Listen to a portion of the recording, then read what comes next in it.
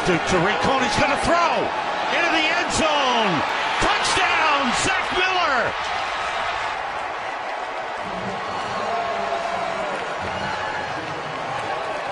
Loggins.